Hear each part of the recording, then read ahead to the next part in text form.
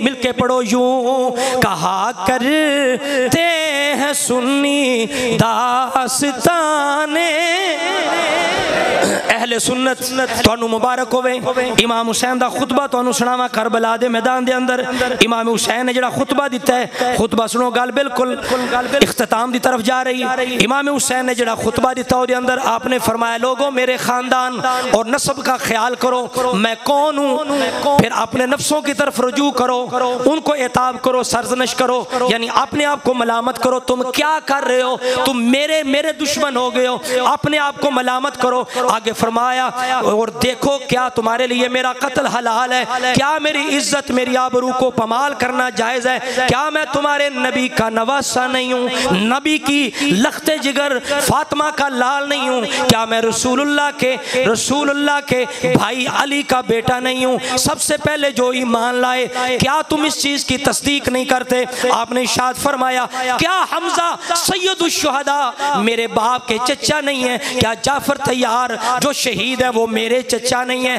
کیا تم تک یہ بات نہیں پہنچی؟ میرے نانا نے کیا فرمایا تھا؟ سنیو ذرا سنو اور خوشی سے جھوم اٹھو۔ امام حسین کربلا کے میدان کے اندر کوفیوں کو مخاطب کر کے آل سنت کی شان بیان کی، آل سنت کی حمیت بیان کی۔ آپ نے فرمایا، او کوفیوں، سن لو۔ رسول اللہ نے فرمایا، میرے نانا جان نے فرمایا لی و اخی میرے لیے فرمایا، میرے بھائی حسن کے لیے فرمایا حازان سیدہ شباب اہل الجنہ، میرا حسن بھی، میرا حسین بھی جنتی نوجوانوں کے سردار ہیں وَقُرَّتُ عَيْنِ اہل سنہ. فرمایا کہ جنتی نوجوانوں کے سردار ہیں اور سنیوں کی آنکھوں کی ٹھنڈک ہے نہیں ایڈی ٹلی سبحان اللہ نے۔ اے دیواراں بھی قیامت تک واسطے تساں آج میں تساں کوئی زندگی دا اعتبار ہی کدو مار جائیے۔ اے نہ دیوارہ اس مسجد نے قیامت تک رہنا ہے۔ اے دیواراں بھی گواہ ہو جان کہ امام حسین دے نا تے سبحان اللہ کسی کسی تھوڑا جا اور زور لا کے۔ یار امام حسین، اس مشکل وقت دے اندر سانو نہیں بھولے۔ نہیں بھولے ساڈی اہمیت ساڈا مقام، اور آل سنت دی حقانیت۔ امام نے کربلا دے میدان دے اندر بیان کی تھی تسی ٹلی جی سبحان اللہ۔ اچھا کو سبحان اللہ۔ امام حسین نے فرمایا، میرے لیے، میرے بھائی کے لیے۔ نانا جان نے فرمایا حازان سیدہ شباب اہل الجنہ و قررت وین اہل سنہ کہ یہ میرے دونوں شہزادے، یہ جنتی نوجوانوں کے سردار بھی ہیں، اہل سنت کی آنکھوں کی ٹھنڈک بھی ہیں۔ کیا تم تصدیق کرتے ہو، تصدیق کرتے ہو؟ آگے امام حسین نے فرمایا، لوگو، جو کچھ میں نے کہا حق و صداقت پر مبنی ہے، میں نے جھوٹ نہیں بولا۔ اللہ جھوٹ بولنے والوں سے بیزار ہے۔ تم اگر تمہیں یقین آئے حضور کے صحابی موجود ہیں، حضرت جابر بن عبداللہ موجود ہیں، ابو سعید خدری موجود ہیں، سال بن سعد موجود ہیں، زید بن ارقم موجود ہیں۔ ان سے پوچھ لو، رسول اللہ نے یہ فرمایا یہ فرمایا ہے یا نہیں فرمایا؟ یہ دونوں میرے شہزادے، جنتی نوجوانوں کے سردار ہیں۔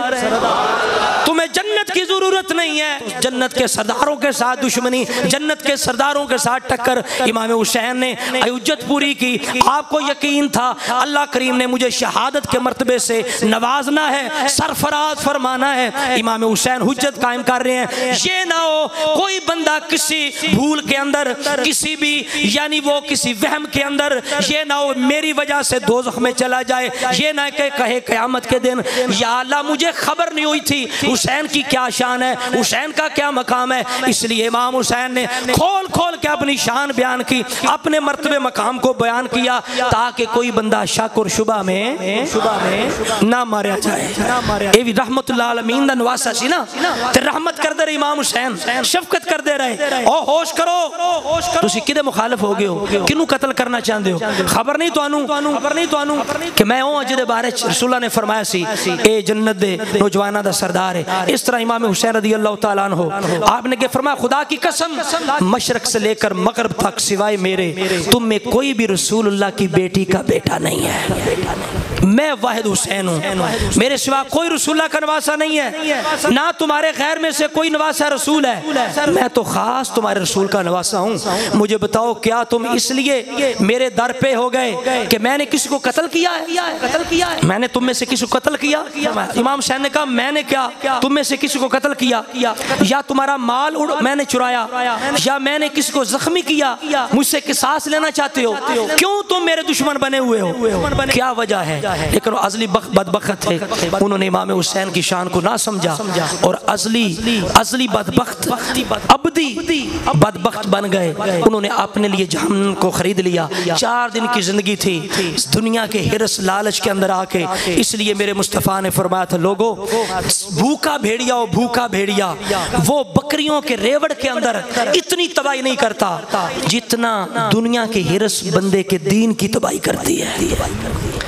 سارے جتنے بھی جزیدی تھے، انہیں خبر تھی، کوئی بھول نہیں تھی، کوئی پردہ نہیں تھا کہ یہ کتنی شان والا نواسا ہے، شہزادہ ہے۔ صرف دنیا کے چند دن کی زندگی مال کے لیے ان کی آنکھوں کے سامنے دنیا کی محبت کے پردے آ گئے۔ امام حسین کو شہید کر کے ازلی بدبخت بن گئے۔ تو شاعر کہتا ہے، اے زمین کربلا، تو اس احسان کو نہ بھول، تڑپی ہے تجھ پہ لاشائیں، جگر گوشائیں بطول۔ مظلوم کے لہو سے تیری پیاس بجھ گئی مظلوم کے لہو سے تیری پیاس بجھ گئی سیراب کر گیا تجھے خونے رگے رسول۔ کسی اور دیوانے امام حسین کی بارگاہ میں ہدیہ عقیدت پیش کیا، وہ کہتا ہے، دشت بلا کو عرش کا زینہ بنا دیا۔ دشت بلا کو عرش کا زینہ بنا دیا، جنگل کو مصطفیٰ کا مدینہ بنا دیا۔ مل کے پڑھ لو جن، جنگل کو مصطفیٰ کا، جنگل کو مصطفیٰ کا مدینہ بنا۔ ہر ذرے کو نجف کا نگینہ بنا دیا۔ تو نے حسین مرنے کو جینا بنا دیا۔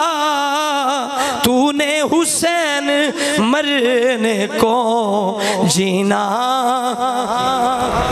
حضرات محترم، امام حسین شہید کر دیے گئے۔ آپ کے ساتھی بھی شہید ہو گئے۔ جب وہاں سے پاک بیبیوں کا قافلہ گزر